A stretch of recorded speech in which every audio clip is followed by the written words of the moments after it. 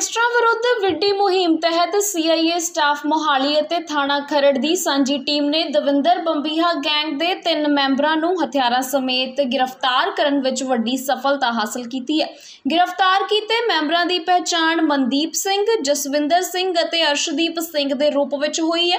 Police ਨੇ ਗ੍ਰਿਫਤਾਰ ਦੋਸ਼ੀਆਂ ਵਿਰੁੱਧ ਆਰਮਸ ਐਕਟ ਅਤੇ ਹੋਰ ਬਣਦੀਆਂ ਅਪਰਾਧਿਕ ਧਾਰਾਵਾਂ ਤਹਿਤ ਕੇਸ ਦਰਜ ਕਰਕੇ ਉਹਨਾਂ ਨੂੰ ਜ਼ਿਲ੍ਹਾ ਅਦਾਲਤ ਵਿੱਚ ਪੇਸ਼ ਕੀਤਾ ਜਿੱਥੇ ਅਦਾਲਤ ਨੇ ਉਹਨਾਂ ਨੂੰ ਤਿੰਨ 3 ਦਿਨ ਦੇ ਪੁਲਿਸ ਰਿਮਾਂਡ ਤੇ ਭੇਜ ਦਿੱਤਾ ਪੁਲਿਸ ਨੇ ਦਾਅਵਾ ਕੀਤਾ ਹੈ ਕਿ ਰਿਮਾਂਡ ਦੌਰਾਨ ਦੋਸ਼ੀਆਂ ਕੋਲੋਂ ਪੁੱਛਗਿੱਛ ਦੌਰਾਨ ਉਹਨਾਂ ਦੇ ਹੋਰ ਸਾਥੀਆਂ ਦੀ ਨਿਸ਼ਾਨਦੇਹੀ ਕਰਕੇ ਗ੍ਰਿਫਤਾਰੀਆਂ ਹੋ ਸਕਦੀਆਂ ਨੇ।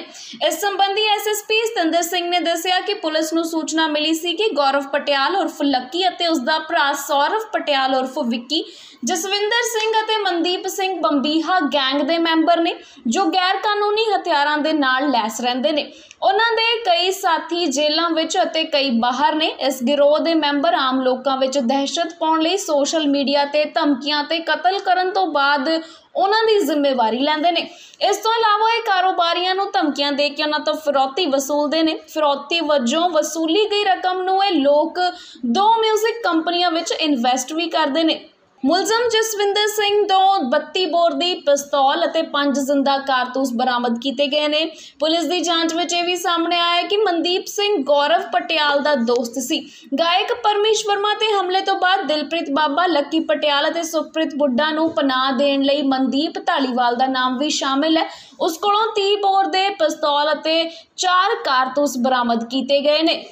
ਇਸ ਤੋਂ ਇਲਾਵਾ ਦੋਸ਼ੀ ਅਰਸ਼ਦੀਪ ਸਿੰਘ ਗਿਰੋਹ ਵੱਲੋਂ ਚਲਾਈ ਜਾ ਰਹੀ ਇੱਕ 뮤직 ਕੰਪਨੀ ਚਲਾਉਂਦਾ ਹੈ। ਜਿਸ ਸਮੇਂ ਬੰਬੀਹਾ ਗਿਰੋਹ ਨੇ ਗਾਇਕ ਪਰਮੇਸ਼ ਵਰਮਾ ਤੋਂ ਪੈਸਿਆਂ ਦੀ ਮੰਗ ਕੀਤੀ ਸੀ, ਉਸ ਸਮੇਂ ਅਰਸ਼ਦੀਪ ਉਸ ਕੇਸ ਵਿੱਚ ਦੋਸ਼ੀ ਪਾਇਆ ਗਿਆ ਸੀ। ਫਿਰ ਜਦੋਂ ਸੁਖਪ੍ਰੀਤ ਸਿੰਘ ਵੱਲੋਂ ਗਾਇਕ ਗਿੱਪੀ ਗਰੇਵਾਲ ਤੋਂ 23 ਲੱਖ ਰੁਪਏ ਦੀ ਫਿਰੌਤੀ ਮੰਗੀ ਗਈ ਸੀ, ਤਾਂ ਉਸ ਕੇਸ ਵਿੱਚ ਵੀ ਅਰਸ਼ਦੀਪ ਸਿੰਘ ਦੋਸ਼ੀ ਸੀ। ਸੂਤਰਾਂ ਅਨੁਸਾਰ ਇੱਥੇ ਇਹ ਵੀ ਸ਼ੱਕ ਜਤਾਇਆ ਜਾ ਰਿਹਾ ਹੈ ਕਿ ਮੋਹਾਲੀ ਦੇ ਸੈਕਟਰ 71 ਵਿੱਚ ਅਕਾਲੀ ਨੇਤਾ ਬਿਕਰਮਜੀਤ ਸਿੰਘ ਮਿੱਡੂ ਖੇੜਾ ਦੇ ਕਤਲ ਮਾਮਲੇ ਵਿੱਚ ਵੀ ਪੁਲਿਸ ਨੂੰ ਇਹਨਾਂ ਦੋਸ਼ੀਆਂ ਕੋਲੋਂ ਖੁਲਾਸਾ ਹੋਣ ਦੀ ਉਮੀਦ ਹੈ, ਕਿਉਂਕਿ ਵਿੱਕੀ ਮਿੱਡੂ ਖੇੜਾ ਦੇ ਕਤਲ ਤੋਂ ਬਾਅਦ ਦਵਿੰਦਰ ਬੰਬੀ ਬੰਬੀਹਾ ਗਰੁੱਪ ਵੱਲੋਂ ਇਸ ਕਤਲ ਦੀ ਜ਼ਿੰਮੇਵਾਰੀ ਲਈ ਗਈ ਸੀ।